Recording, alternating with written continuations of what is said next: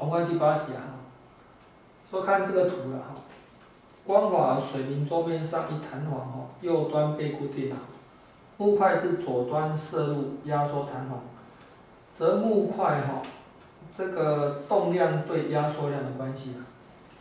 好，我们知道那个力学能守恒嘛，假设它压缩 x，那么它的动能就是二 m 分之 p 平方，动能嘛，加上这个位能。二分之一 k s 平方哦，这样等于一个常数了。这常数就是这里的最大动能。好，这个刚好什么呢？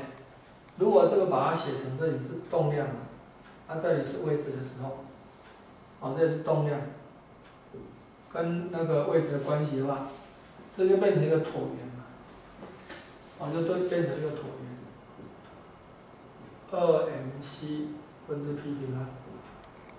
再加那个，呃，k 分之，